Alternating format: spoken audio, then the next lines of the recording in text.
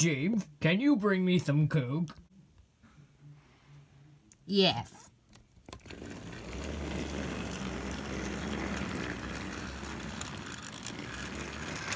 Gee, no. James Brain, get us out of here.